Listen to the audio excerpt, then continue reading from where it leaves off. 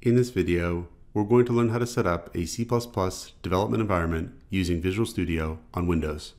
So the first thing we'll do is Google for Visual Studio. And if you click on the first link that comes up, and then scroll down, we want this link here, download Visual Studio, and we're going to pick Community 2022. When we click on this, we should get this installer downloading.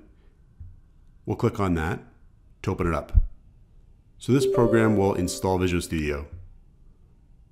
Eventually it'll pop up with a bit of a wizard and we'll go through that wizard. So we'll say continue. It says downloaded, installed, getting the installer ready. And we'll just have to make sure we pick the option that allows us to make C++ programs. So for workloads here, we're going to scroll down a bit. And there's one here that says desktop development with C++. We want that one. So click that box. Then we'll go to install and we'll allow it to install. Now this process will take a while. So I'll skip ahead to after it's done.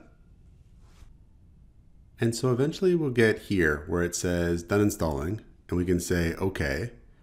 And you can go to launch here or you could also go to search here and type in Visual Studio and it'll come up that way. You could also go here and scroll down to V and go to Visual Studio that way.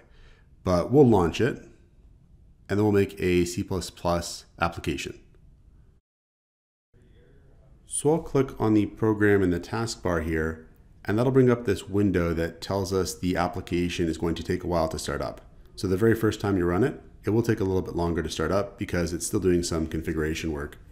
Eventually we'll get to a window that will allow us to create a new project or pick from recent projects as well.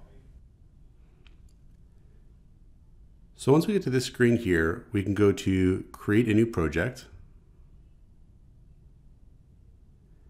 And then we're going to pick here console app.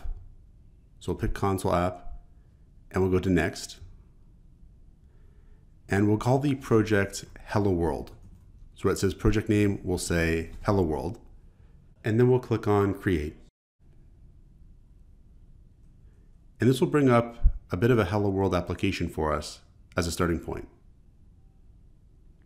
So it says creating project.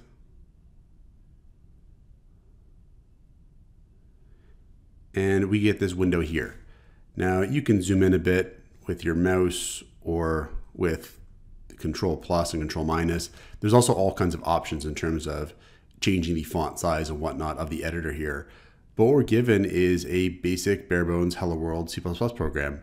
And we can compile it by clicking this play button here. And this will compile and run our program. And we should get the text Hello World popping up in a command prompt.